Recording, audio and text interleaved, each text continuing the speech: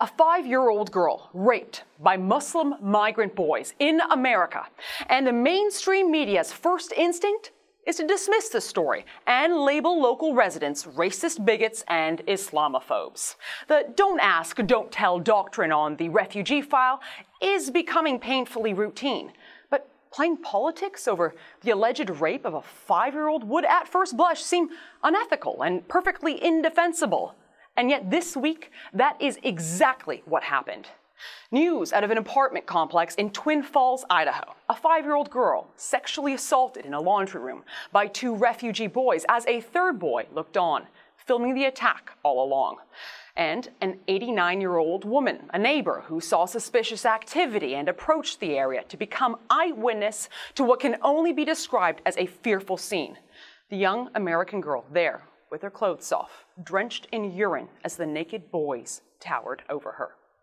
Immediately, local papers rushed to discredit the story as false claims being spread to incite anti refugee sentiment, and their narrative bolstered in part by the county prosecutor, who said there had been no Syrians, no knife, and no gang rape. But these are some pretty grave allegations for a five year old and an 89 year old to just pull from thin air. You'd reckon serious journalists would follow up with some specific questions. If not Syrians behind the assault, were other migrant boys involved? If no weapon was used, did some other type of assault take place? If not a gang rape, did even one of these boys rape this young girl? Well, just because the mainstream media was unwilling to follow up doesn't mean we here at The Rebel were about to ignore and downplay the broader allegations at the heart of this story. After one news outlet published the name of the alert 89 year old who became eyewitness to this alleged incident, I gave that woman, Jolene Payne, a call. Here's her side of the story. He's out there playing with a camera, taking pictures, and I thought, does that kid never see a wash machine or something before? I'll go see what he's taking pictures for. And so when I went out there, there was trouble.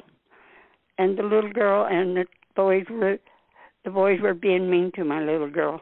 Now, when you opened up the door of the laundry room, what did you see? The boys with no clothes on and a little girl. Huh? Did you were they touching the little girl? Yeah, I guess so.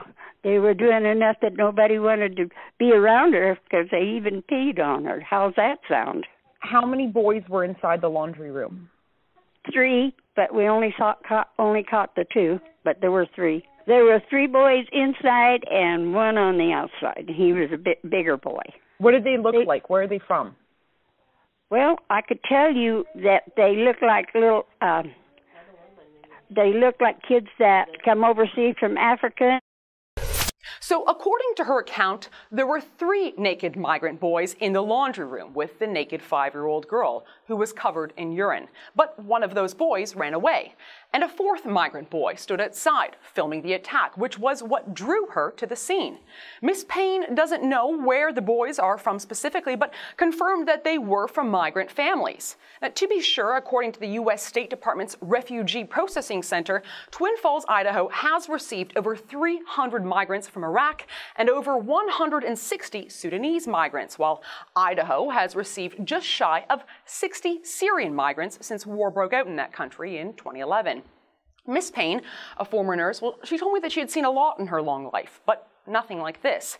Miss Payne also told me that there was no knife involved, but that people might be confused because of another incident in Twin Falls not so long ago, which involved another migrant boy who pulled a knife on another little American girl. There was no knife on with this at all. This was another act, another thing that happened.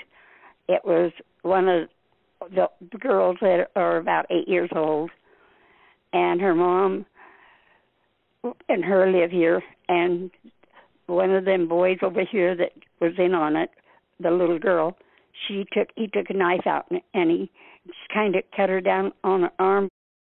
Miss Payne, referred to as Grandma Joe by the neighborhood children, answered all my questions with consistency and confident recollection of the facts. Her story did not sway.